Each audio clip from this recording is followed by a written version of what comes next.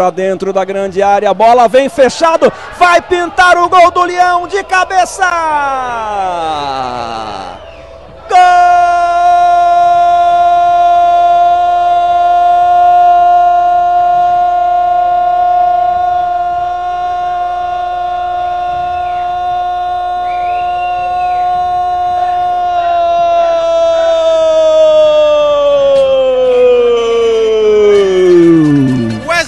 Yankee!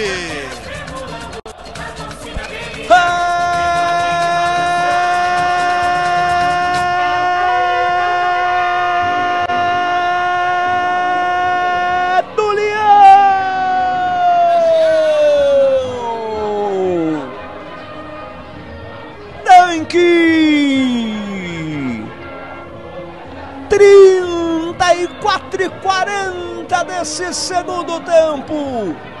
Uma cobrança de escanteio curtinho. Cezinha, que tá acabando com o jogo, tá jogando muito. Ele recebeu o escanteio curto, olhou para dentro da grande área, soltou no segundo pau.